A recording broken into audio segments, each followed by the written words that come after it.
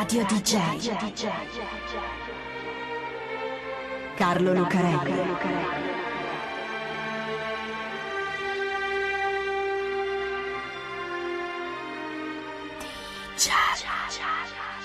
Carlo Lucarelli presenta Di Giallo, il radiodramma di Radio DJ.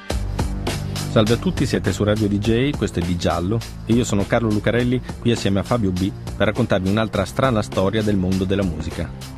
Una strana storia perché è strano il personaggio che la anima, un genio della musica sicuramente, ma pieno di contraddizioni. E del resto sono così le storie, non cadono dal cielo, le fanno gli uomini, che le vivono. E se questi sono strani, pieni di contraddizioni, allora sono così anche le storie che raccontiamo. Allora questa è una strana storia controversa, perché è la storia di un grande musicista e di un grande chitarrista che si chiama Eric Clapton. Non ci sono lacrime in paradiso. Lo dice il ritornello di una canzone di Eric Clapton, Tears in Heaven, che dovrebbe essere soltanto un brano in una colonna sonora di un film giallo, un thriller così così che si chiama Rush, due poliziotti della narcotici che indagano su un trafficante. Bello, ma insomma niente di speciale. Tears in Heaven però non è soltanto quello, un brano in una colonna sonora. L'altro autore della canzone, Will Jennings, è un professionista di soundtrack di successo. Ha scritto tra l'altro My Heart Will Go On cantato da Celine Dion in Titanic. Ecco, lui, Will Jennings, quella canzone non voleva scriverla.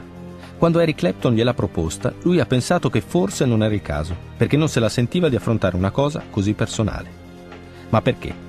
Cosa c'è di così particolare in quella canzone? Tanto da spaventare un autore come Will Jennings. Che significano quelle lacrime? Beh, chi conosce quella storia già lo sa, chi invece non la conosce ancora, gliela raccontiamo noi.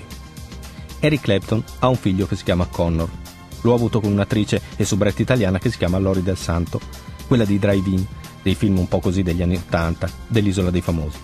Ecco, Lori del Santo è sicuramente una donna molto bella. Conosce Eric Clapton dopo un concerto a Milano e i due hanno una relazione da cui nell'86 nasce un figlio, Connor. Nel 1991 Lori e Connor sono in un appartamento che sta al 53 piano di un grattacielo sulla 57 a New York. Sono lì perché la storia con Clapton è finita, ma è Pasqua e Clapton vorrebbe stare con suo figlio, per cui eccoli tutti a New York. Quella mattina Connor è affidato alle cure della babysitter. Giocano per l'appartamento, giocano a nascondino, corrono dappertutto. Connor è un bambino a 4 anni, non sta mai fermo. Schizza via per il corridoio e si infila nel salone. E la babysitter dietro. Nel salone c'è il portiere, occhio, dice, è lì per fare le pulizie e visto che è una bella giornata ha aperto le finestre per cambiare aria. Connor è un bambino e i bambini sono così a 4 anni. Bisogna starci attenti perché schizzano come razzi appena uno si distrae un momento. Dov'è Connor? La babysitter ha avuto appena il tempo di sentire quello che le ha detto il portiere, che Connor nella stanza non c'è più. C'è solo la finestra aperta, la finestra di un grattacielo. 53 piani più sotto c'è Connor. Eric Clapton arriva poco più di un quarto d'ora dopo trova una gran confusione, gente che piange, Lori del Santo disperata, quello che si può immaginare dopo un incidente del genere. Anche Clapton resta sconvolto e per settimane non riesce a fare più niente, non riesce a lavorare, a uscire, neanche a parlare. Poi si riprende e fa quello che fanno gli artisti, siano musicisti, scrittori o pittori o qualunque cosa. Usa la sua arte per esprimere questa cosa qui. L'occasione è la colonna sonora di quel film. Will Collins ha qualche dubbio, in effetti è una cosa molto personale, poi ci sta e aiuta Clapton a comporre una delle più belle canzoni, sicuramente una delle più dolci e più tristi, della storia del rock.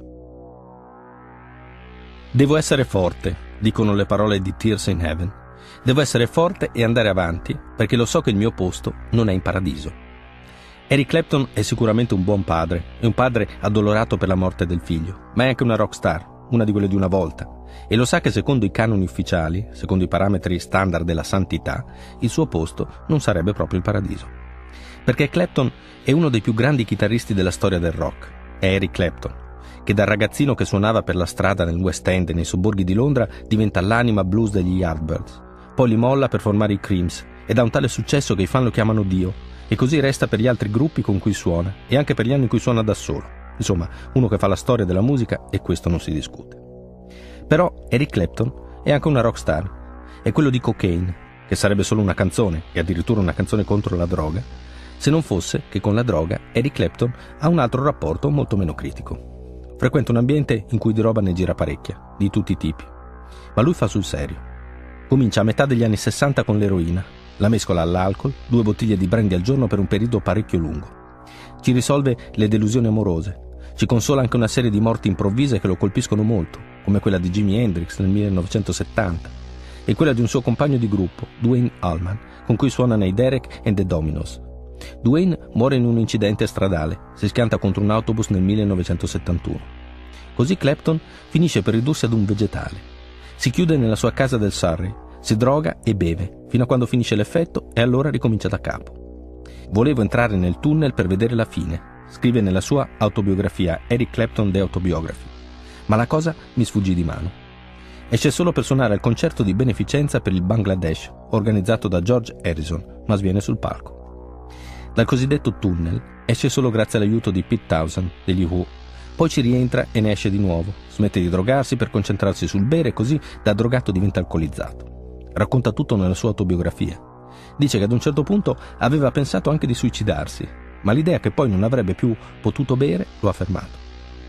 Piano piano ci riesce a disintossicarsi, tra amici, mogli e rehab, ospedali e centri di disintossicazione. Altrimenti avremmo avuto adesso la storia di una rockstar morta di cirrosi o di overdose, e nessuno dei grandi dischi che ha fatto in tutti questi anni. Come dice lui stesso in una serie di interviste e nella sua autobiografia, per la droga ha speso parecchio, qualche milione di sterline, che appunto, nonostante sia una delle tipiche contraddizioni da rockstar, non ricade propriamente negli standard classici per il paradiso. Radio DJ.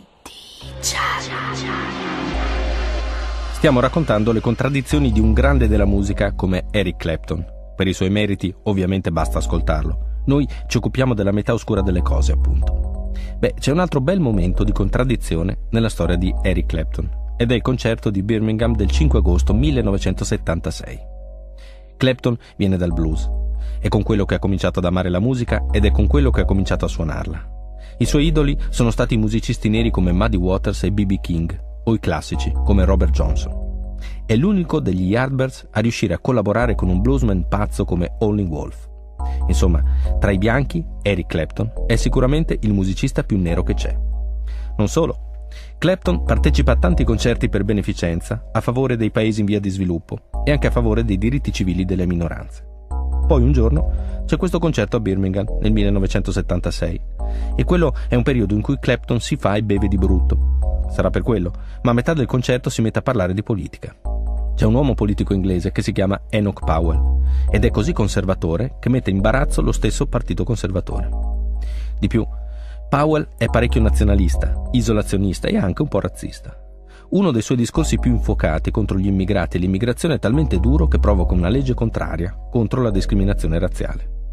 Bene, Powell non è certo il tipo di uomo politico che ti aspetti riscuota i favori di una rockstar, soprattutto di un bluesman come Eric Clapton. Invece, quella sera a Birmingham, che è la città di Powell, Clapton smette di suonare e fa un discorso a favore di Enoch Powell. Dice che l'Inghilterra è invasa dagli immigrati, tanto che sta diventando una colonia nera. Dice che è d'accordo con Powell. Bisogna ributtare in mare quei wogs, che è una brutta parola molto offensiva per indicare la gente di colore che viene dalle ex colonie britanniche. L'Inghilterra è per i bianchi e lui non vuole tutti quei wogs a vivergli vicino. Keep Britain white, dice alla fine. Conserviamo l'Inghilterra bianca. Sembra di sentire un leader del National Front, il partito che raccoglie l'estrema destra inglese. E Keep Britain White è proprio lo slogan del partito di quegli anni. Sembra di sentire Ian Stewart degli Screwdriver, uno dei gruppi storici dei Bonehead, gli skinhead di destra, quello che canta White Power. Naturalmente succede un casino. Clapton viene attaccato da un sacco di gente per il suo discorso, anche perché appunto non ci fossero stati i neri in Inghilterra o dovunque, non ci sarebbe stato neanche Eric Clapton, come fanno notare parecchi critici. In ogni caso, come per il discorso di Powell, anche quello di Clapton, sul palco del concerto di Birmingham, ottiene l'effetto contrario. C'è molta ambiguità in quei tardi anni 70 rispetto al razzismo e nazismo. C'è David Bowie che viene sospettato per alcuni suoi atteggiamenti da dandy del periodo Duca Bianco, quando si lascia scappare che ammira Hitler in quanto prima rockstar del mondo. Poi c'è la maglietta con la svastica di Sid Vicious. Provocazioni, atteggiamenti.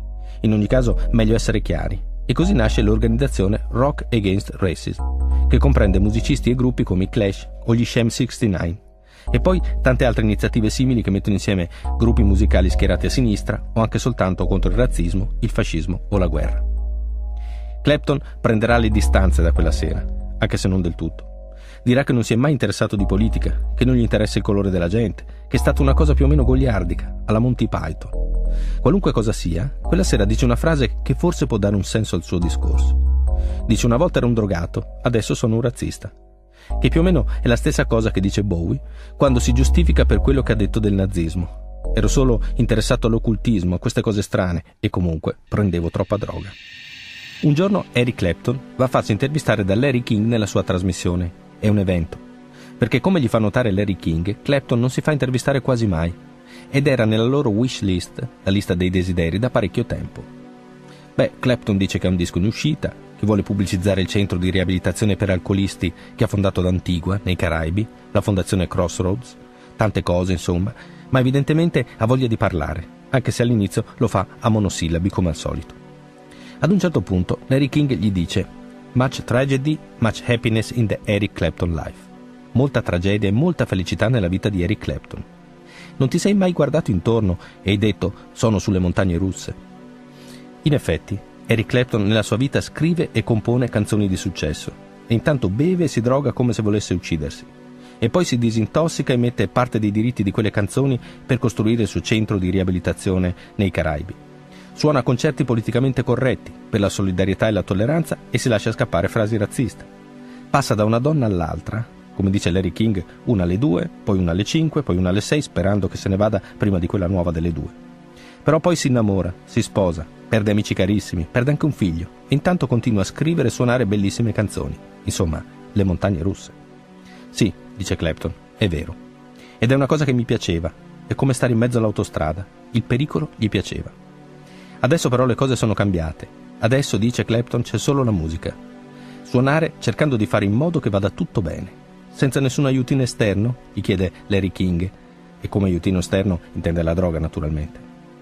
Clapton gli risponde con un grugnito, che dovrebbe voler dire sì, senza nessun aiutino. Però non ci sono le parole, solo quel grugnito. Mm-mm. Senza droga. Sarà vero? Ce la farà Eric Clapton ad andare in paradiso. Radio DJ. Carlo Lucarelli.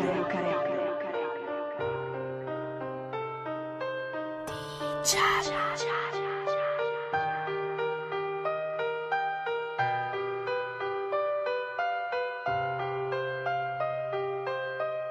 cha cha cha